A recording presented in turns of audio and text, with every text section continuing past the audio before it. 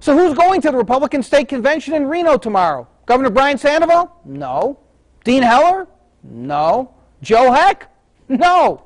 But Ron Paul will be on hand to greet the throngs of Paul supporters attempted to expe- expected to attempt to hijack the convention, despite threats from the Republican National Committee not to seat Nevada's delegates in Tampa at the national convention should Paul prevail. The Paulites will not let their delegates go.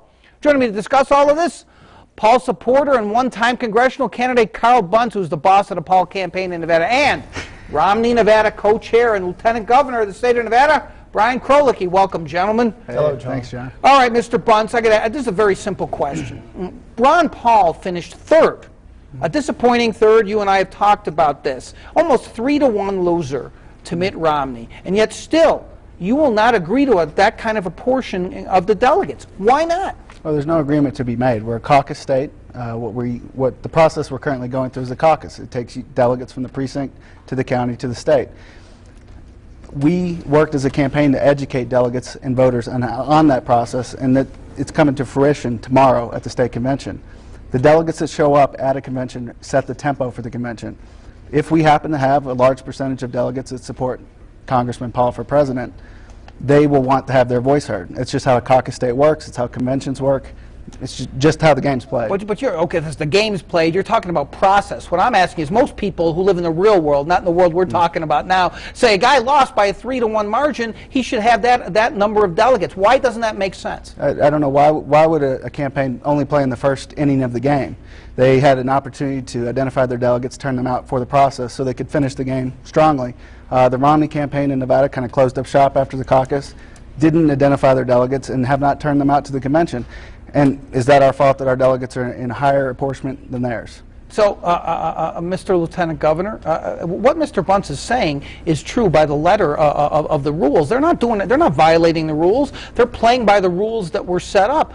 did you close up shop? What, what, were you doing? Absolutely not. We've been doing the things that we need to do, but from our standpoint, the discussion of you know the caucus here in Nevada, it's done. It was concluded, and as you said, it was almost a three to one margin. You know, the business in front of the Republican convention tomorrow is to choose delegates and choose some of the leadership, choose some of the platform, and I applaud the Ron people. You know, Dr. Paul has brought a lot of energy and enthusiastic supporters.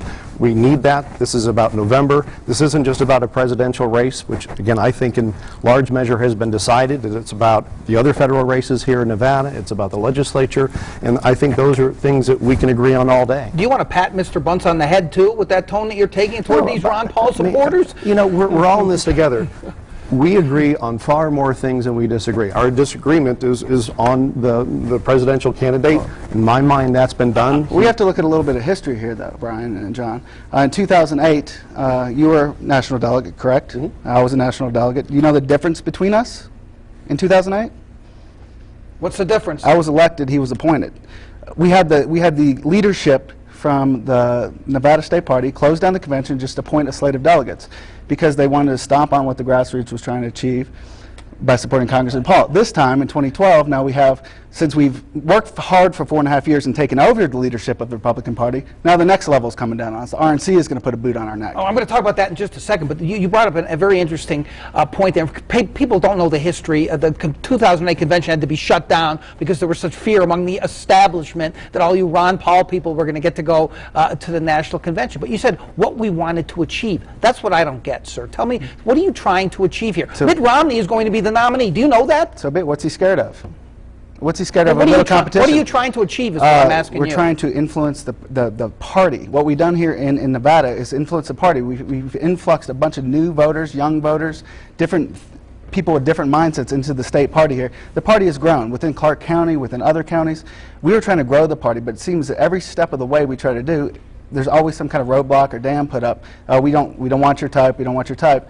That causes us. It actually motivates us let, let, him, let him jump in. You don't want his type, do you? Well, I don't know what type Mr. Bunce is, but you don't want his type, do you? I want people who believe in the Republican cause and who can help us energize the party and get out the vote, register voters, show up in November, so we have a great ticket up and down. Really, I mean, yeah, I, I, you've, you've never heard me say uh, that, nor would yeah. I, because I welcome that energy. And, and I hope what we can do tomorrow is channel that energy, you know, regardless of who our leadership is and the delegates going to Tampa, which is really almost in some ways irrelevant, you know, to the presidential. So you don't don't want to go? Um, My family would love to make different plans in- in in early August. So the RNC has written actually two letters in, in, the- in the last week that have essentially said the same thing. But let me, let me read from, from the latest one uh, uh, from, from, the, from the Counsel of the RNC. I believe it is highly likely that any committee with jurisdiction over the matter would find improper any change to the election, selection, allocation, or binding of delegates, thus jeopardizing the seating of Nevada's entire delegation to the national convention. So, uh, to, to go back to what Mr. Bunce asked you, what are you guys afraid of? Because the Republican National Committee is essentially the Romney campaign now. You don't have to try to deny that. We all, we all know that. So, what are you guys afraid of? You're afraid that a bunch of rogue Paul people are going to go to Tampa and not vote for Mitt Romney on the first ballot. That's what you're afraid of. I- I'm not afraid of that. I- I I I don't know who will actually be going to Tampa and staying in the luxurious Doubletree Airport Hotel in Tampa. Five miles away. There you go. Um, But, it- no, there is no fear. There there are rules that must be complied with, and, uh, you know, it was Chairman McDonald who corresponded with the RNC trying to get some legal, you know, guidelines on what was going on. But, you know, the rules are, and if it's 20 and 8, or whatever the proportionality is, you know, with the Gingrich and the Santorum campaign delegates, you know, probably up for some kind of discussion, but that kind of proportionality, that is the first ballot. I I truly believe there's not a second ballot, so there is nothing to fear because we're we're not really concerned with that. We think functionally, this presidential nomination on the Republican ticket is is done. Functionally, he only he only has uh, 800 odd delegates. I think he needs 1144. So technically, it's not over. It's- Functionally, it's over. Officially, it'll be done in in Tampa. And again, I, I- we're very comfortable with that. It should be 20 to 8. That makes that makes sense by the proportions, right? That, that are, the- that is the proportions of the presidential preference poll. And as a campaign, we followed the rules and we plan to abide by those rules. What is, the RNC is coming down with is they're trying to rewrite our rules, saying, don't break your rules, but do your allotments this way. Get a presidential uh, campaign advisor to pre, pre-nominate and select the delegates, and, and then only those delegates will be able to be nominated and elected. The rules don't uh, uh, account for that. There's, that's nowhere in the Well, rules. if you're a Ron Paul person, I'm sorry to interrupt you, but if you're a Ron Paul person, why would you want to go to Tampa as, as a person who's going to vote for Mitt Romney? Why not just let Romney have 20 slots and you guys get 8 slots? That, it's a serious question. Tell me, tell me why. Romney does not have 1144. He does not have it. I, I don't think he'll have it when we get to the RNC. Come on. You don't think he'll have 1144 when they get to Tampa? Late August, when you start seeing Obama and Romney campaigning against each other, they sound alike. They talk alike. They, I don't see any difference from an Obama administration or Romney uh, administration myself. I'm going to chip in and get you some glasses. They appear completely different. It's night and, and day, and I'm excited about a Romney campaign. I think it's transformative, and I think it's exactly what this country needs in the Republican process, again, from a functional standpoint, with, with great respect to Dr. Paul and, and the people like Mr. Bunce here who've worked so hard. It's over. Well, what, what you're saying is it's over, that there's no way that he's not going to have 1144 by the time you get to Tampa. I believe he will have that when he gets to Tampa. There's no second ballot. So again, I think much of this conversation, and I appreciate your role in the media. I mean, you know, we're looking for a very interesting day. How appreciative are you, I- I, really? hope Tell there's a, you know, I hope tomorrow's a cure for insomniacs uh, to, to, to finally get some sleep. I don't think it needs to be that exciting. We'll do the rules. We'll have the delegates that we do. But uh, going to Tampa, you know, this is about November. It's about the other federal races. It's the legislature, local Exactly. races, and we can work together on that all day long. You talk about the other races, but the Ron Paul campaign and uh, grassroots activists th- through the, you know 2007 to the Tea Party movement, they've gotten involved and engaged in the Republican Party. If the RNC or the General Counsel, whoever wrote this letter through the Romney campaign and got it passed down to, through to Nevada, they want to disenfranchise people that participate in the process. From the Ron Paul campaign, we used education, we educated delegates on the process all the way through. And sudden, the rules are going to be, adapted or changed or interpreted a different way from an NC, RNC You know- you General know what? Counsel. Well, let me just so stop they're you. being disenfranchised. Well, let me ask you a serious question here. I mean, this is a plum thing for a lot of people to be able to go to, to a national convention. It's fun, yeah, the double tree, okay. It's not the, maybe, maybe that's not thrilling for us, but you They know what? A lot of these have folks have worked hard. They've been in the trenches. This is what Mr. Bunce. They've been the, they've been working hard throughout the entire process. They followed the rules. They just want to go to the national convention. They know what the rules are. What you're afraid of is that they're not going to follow the rules. I believe they will follow the rules because I don't think there's really a choice. Those rules have been adopted by All in Nevada, submitted last October, so that's not up for argument. It's just who's going to It was represent up for argument. Well, who will What you said to my friend. Steve Sebelius over at the RJ, you said, if you're sent to the national convention, you'll vote on the first ballot, but you can't vouch for everybody else, they might not. You gu- You guys are anarchists. No, no, Jon, we're completely, we're participating in the process as it's prescribed.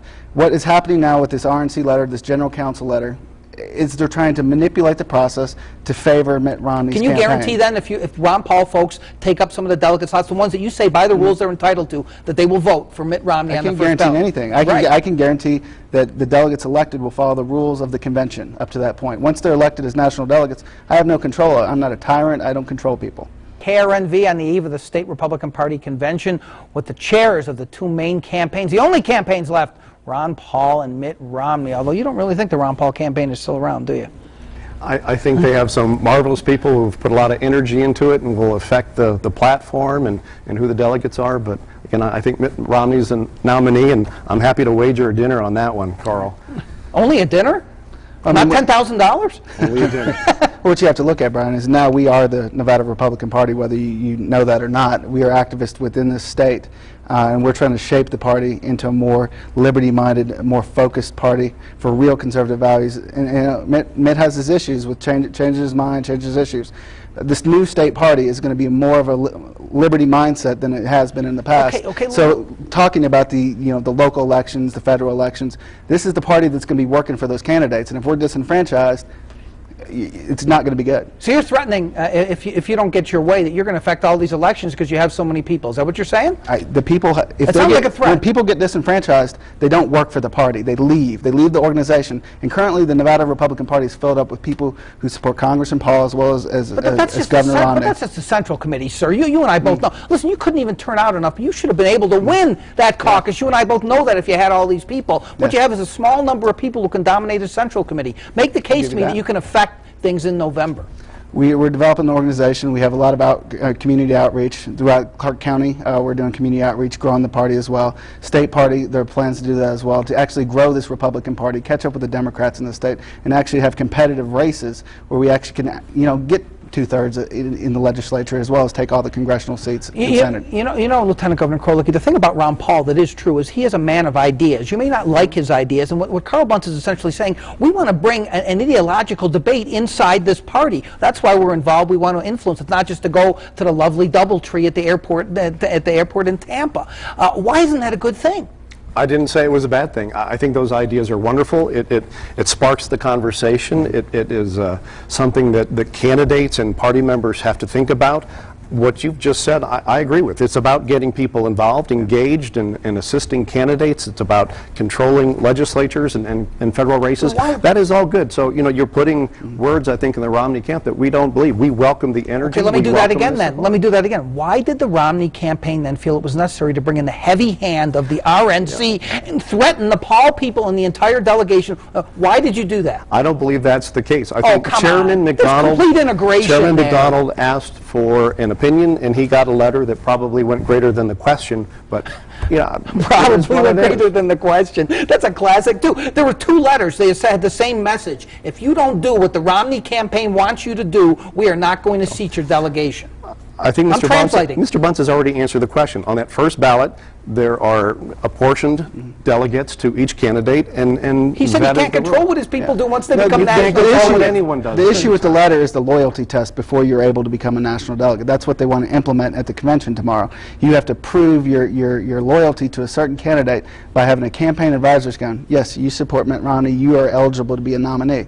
That goes against everything the grassroots has been trained and taught over the past six to seven Do you, months. do you want to elect a Republican president? Oh, do I'd you? love to. Do you want to to. elect a Republican senator, Republican congressman in this state? But what I because want- you could you could affect that in I a very understand that. detrimental way. I'm not the one attacking.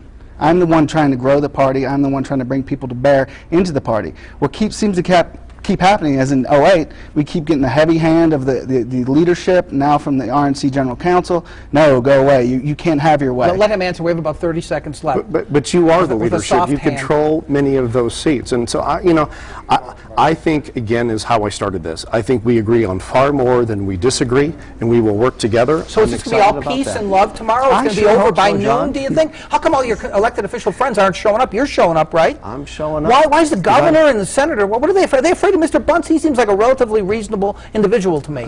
I can't speak for the governor or Dean Heller. They're, they're busy men.